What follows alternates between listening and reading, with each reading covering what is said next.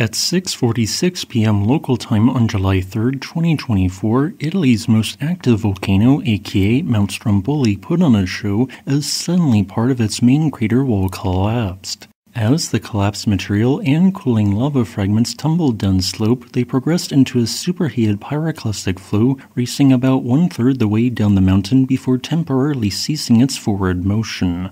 Then, seven seconds later, a second pyroclastic flow struck, which advanced all the way down Stromboli's northwest slope, entering the Mediterranean Sea.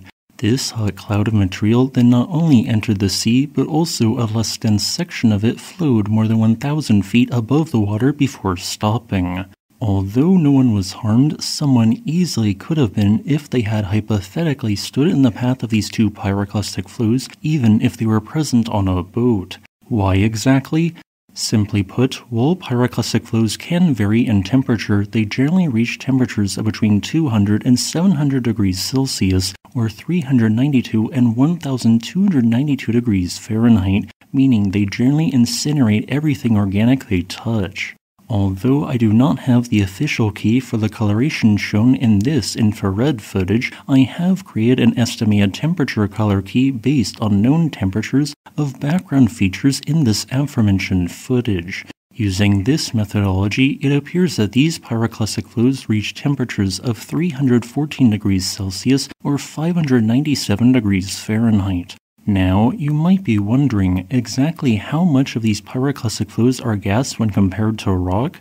Well, if we base our figure on Vesuvius's 79 CE eruption pyroclastic flows, each cubic meter of a pyroclastic flow contains 0.1% hard rock, lava, and ash, 5.8% volcanic gases that would suffocate a person, and 94.1% regular air. This comes out to a density of 2.84 kilograms per cubic meter of pyroclastic flow.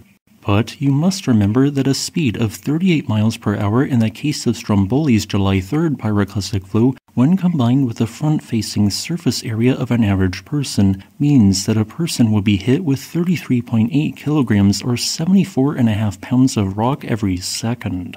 Have you ever wondered why air temperatures can reach 80 degrees Celsius in a sauna and not burn your skin, while you would instantly receive a severe burn if your skin encountered only 70 degrees Celsius water? The answer is a concept known as thermal conductivity. In other words, the rate at which one object can pass heat to another with a higher figure indicating a higher rate. While water is 24.2 times more thermally conductive than air, the basaltic rock fragments within a pyroclastic flow from Mount Stromboli would have a thermal conductivity four times higher than water. In other words, everything a pyroclastic flow touches will be burned instantaneously. Because the collapse of Stromboli's crater removed a decent amount of overlying rock, it widened the vent and allowed an increased amount of lava to erupt during the following several hours. This created a lava flow which more slowly advanced towards the Mediterranean Sea, occurring alongside Strombolian style eruptive activity that was named after this very volcano. If you are wondering how the pyroclastic flow was able to cross more than 1,000 feet of water, the answer relates to its density being lower than that of water, allowing the current to simply ride on top of the water until it runs out of energy or cools a sufficient amount. Pyroclastic flows are generally uncommon at Mount Stromboli, happening about one to three times a year. In my opinion, during the next several days to weeks, more smaller collapses and thus pyroclastic flows could occur, but these will likely be completely confined to its northwestern slope away from populated areas. So, do you have any questions about Mount Stromboli or its recent eruption? Be sure to let me know in the comments section below. As a final note, I would like to thank my new patron VJ for supporting this channel.